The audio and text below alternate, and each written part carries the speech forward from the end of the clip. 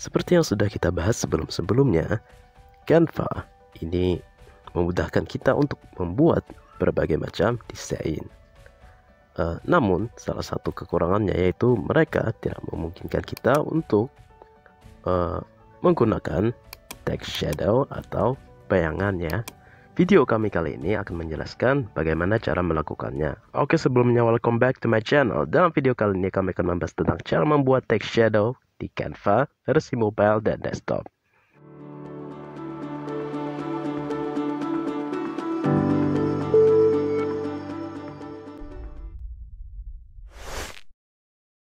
Sebelum kita mulai, jangan lupa klik tombol like, subscribe, dan aktifkan belnya di sini. Dengan begitu, setiap kali kami mengupload video terbaru, kalian akan mendapatkan notifikasi.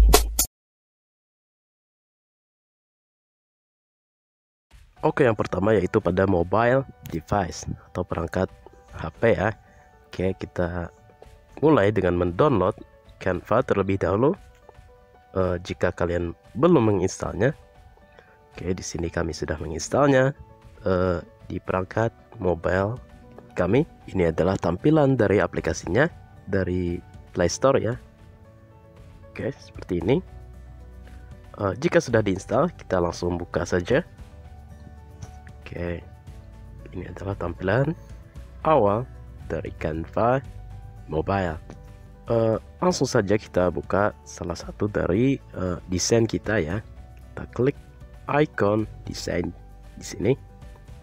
Di sini saya sudah menyiapkan satu desain untuk menjelaskan tutorial kali ini. Oke, uh, di sini saya sudah beri desain ini dengan uh, latar belakang uh, berwarna hitam ya. Kita coba tambahkan teks di sini. Oke, kita beri nama uh, RM channel ya sebagai contoh. Oke uh, kemudian kita coba uh, ubah fontnya biar uh, terlihat terlebih uh, tebal ya oke okay. Kita pilih bold di sini oke okay.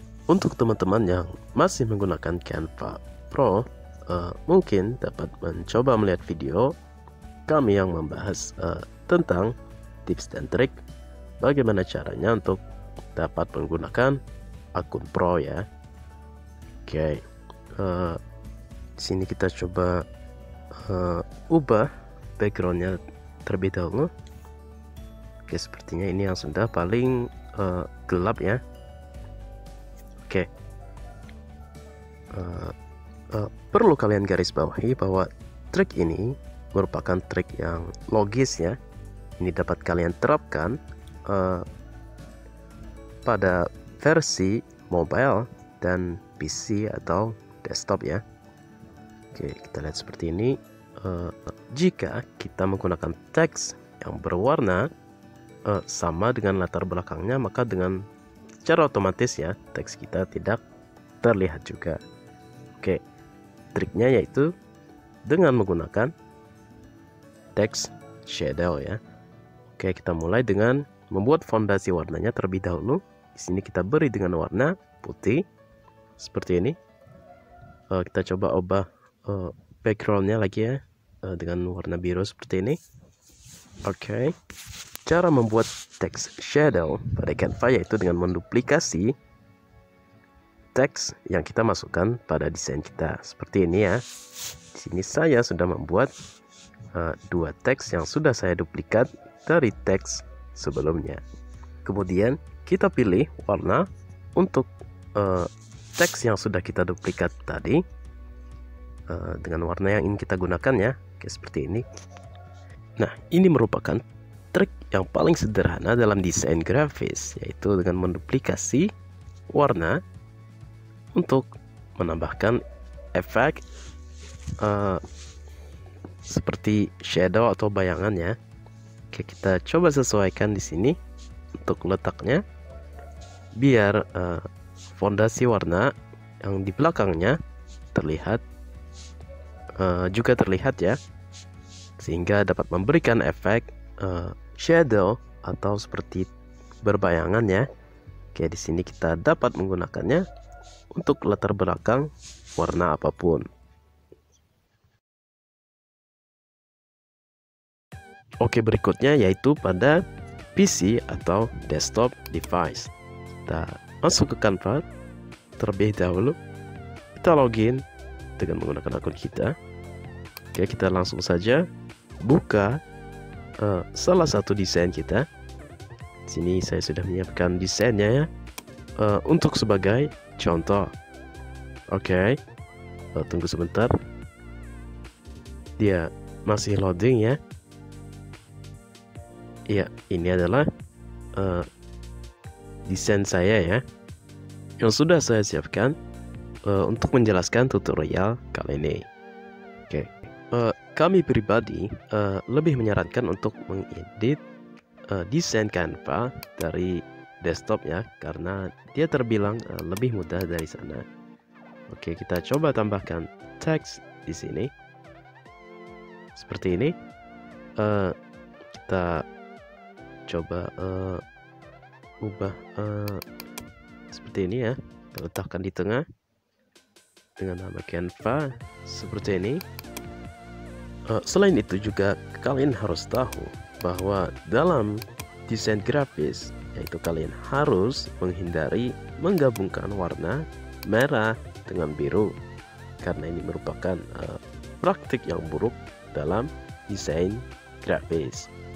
Ya uh, pada dasarnya metodenya sama seperti yang sudah kami jelaskan sebelumnya ya, uh, yaitu adalah untuk menduplikat teks yang ingin kita tambahkan uh, agar nampak seperti berbayangan. Oke, kita coba dengan copy di sini. Kita klik Ctrl C atau kalian dapat langsung mengkopinya dari Canva ya. Oke, di sini saya sudah menekan uh, tombol copy ya dan kita paste di sini seperti ini ya kita letakkan ini di bagian atas fondasi teks kita sebelumnya. Oke sekarang jika kita tambahkan berbayangan seperti ini maka uh, teks yang berwarna merah uh, pada latar atau background warna biru akan terlihat lebih jelas. Seperti ini ya. Nah, di sini sudah nampak seperti berbayangan berwarna putih. Oke itu adalah triknya ya. Kita coba disesuaikan di sini. Lebih ke atas sedikit maka akan menimbulkan efek uh, drop shadow ke bawah ya. Untuk ke kanan kita bisa aturnya seperti ini.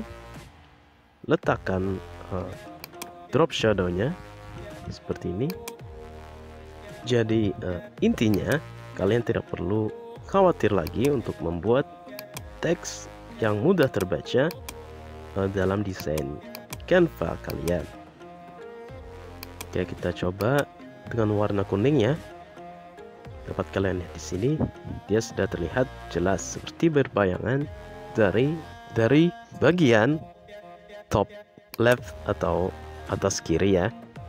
Oke.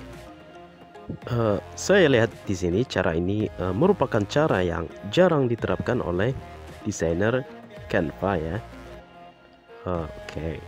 Kira-kira uh, seperti itulah untuk caranya. Bagaimana? Mudah bukan?